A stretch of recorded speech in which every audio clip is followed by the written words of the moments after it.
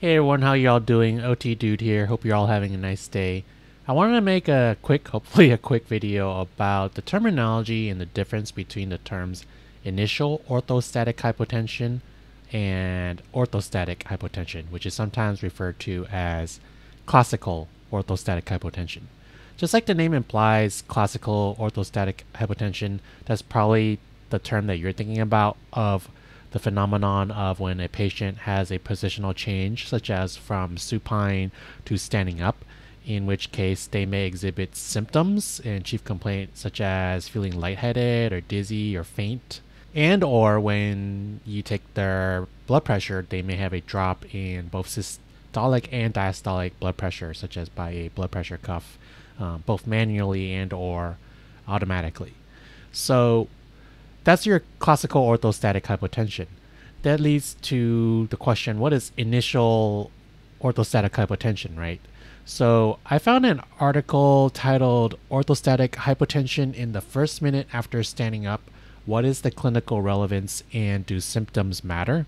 Let's take a look at it. And this is actually found in the American Heart Association website, this uh, post, and it's by authors Wingen, Harms, and Wieling, published in 2018. Basically, it talks about how, with the advent of the technology, we have been basically been able to continuously and non-invasively measure the blood pressure, such as a transient fall in blood pressure that occurs amazingly within the first 30 seconds of standing. So if you scroll, we scroll down here, initial orthostatic hypotension has been defined as a transient decrease in systolic blood pressure of greater than 40 millimeters of mercury and or sorry here it's blocking and or 20 millimeters of mercury in diastolic blood pressure within 15 seconds of standing with complete recovery within 30 seconds basically.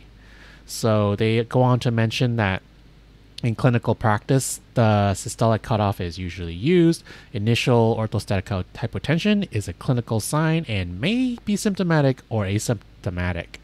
The physiological mechanism underlying initial orthostatic hypotension is a mismatch between cardiac output and systemic vascular resistance and can be either based on a fallen cardiac output or systemic vascular resistance during the BP. Let's take a look at and compare and contrast this to classical orthostatic hypotension, which is defined as a sustained decrease of greater than or equal to 20 millimeters of mercury in systolic blood pressure or greater than 10 millimeters mercury in diastolic blood pressure between 60 and 180 seconds of standing. So if we compare the two, we see that there is a difference in that the drop in blood pressure is actually greater in the initial orthostatic hypotension definition. So we have 40 mmHg and 20 mmHg systolic and diastolic respectively versus compared to the classical orthostatic hypotension definition which is 20 and 10 millimeters of mercury systolic and diastolic respectively. And also you'll notice what there is a difference between the time, right? So basically, because of the definition initial, the initial OH is a recovery within 30 seconds. In contrast, in classical or your typical orthostatic hypotension, your time is between 60 or 180 seconds of standing. So clinically, what does this mean, right? We don't have such sensitive measuring tools like they do in this study, in which they're able to basically measure within 30 seconds.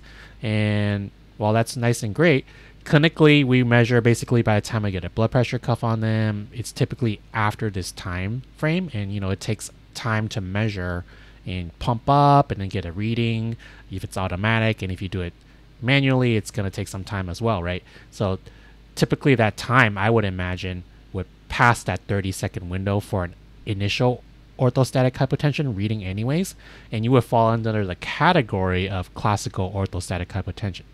So a lot of studies actually differentiate, you know, in the findings of classical and initial orthostatic hypotension. Delayed recovery is defined as the inability of the systolic blood pressure to recover to the less than 20 millimeter.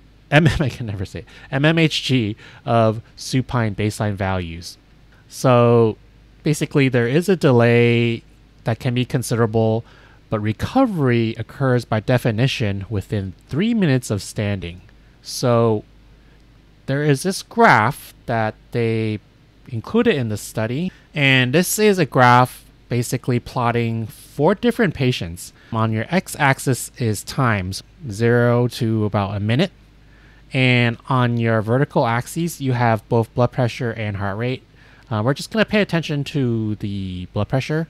These little ticks are 80 and 120 for in the in between the 40 and 160. So they're and that falls that's your basic you know average population norm blood pressure right 120 systolic over 80 diastolic the first graph on the very top you have a normal blood pressure recovery in a 26 year old healthy female.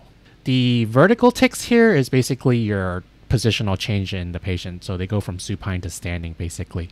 So, as expected, with normal recovery, you have a patient who is in supine. They basically go back to the same blood pressure that they were at baseline.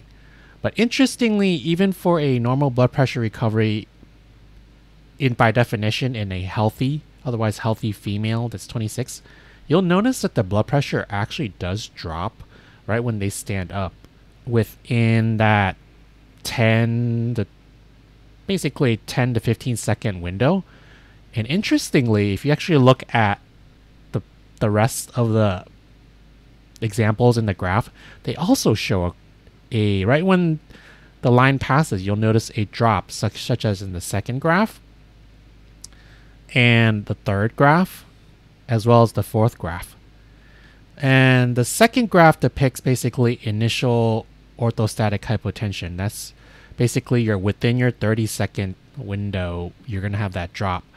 So this example is a 14 year old healthy male. So keep in mind, healthy male they show how you have a drop basically in the initial orthostatic hypotension. Now, delayed recovery is basically you can think of it as a longer stretch of time that it takes for the patient to recover back to baseline after their positional change. So you have that same drop in the, on the third graph here, basically systolic as well as diastolic blood pressure. However, it takes a longer time to go back to that baseline. Now, let's take a look at our last graph, the classical orthostatic hypotension. It's what's interesting is this is a 76 year old man with primary autonomic failure. If you compare it to the other patients, they actually do have a higher systolic uh, blood pressure initially at baseline. But anyways, right when they stand up, they have that drop as well in blood pressure, so orthostatic hypotension.